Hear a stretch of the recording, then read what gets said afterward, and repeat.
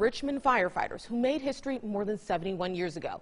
Now their story is being shared with a new project in historic Jackson Ward.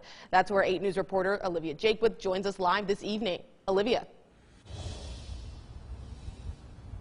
That's right, Deanna. As you can see, this mural behind me, not quite finished, but once complete, it will stand as a tribute to the first black career firefighters, not only in the city of Richmond, but also the Commonwealth of Virginia, hired July 1st, 1950.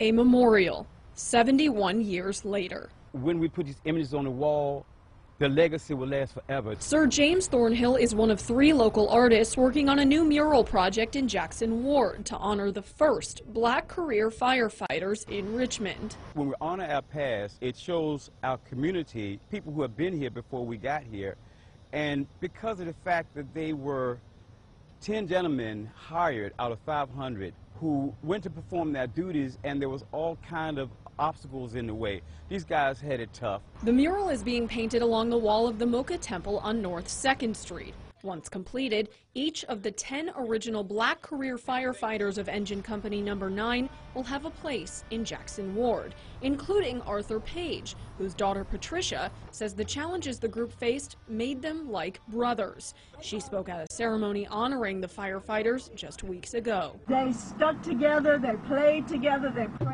together. Now, more than seven decades later, artist Jason Ford says he's humbled to tell their story. We cleaned the slate and, you know, we got to work on it. What better time than now, honestly? Now, coming up at 6, learn the meaning behind each part of this mural and find out when you'll see it complete. Live in Richmond tonight, Olivia Jaquith, 8 News.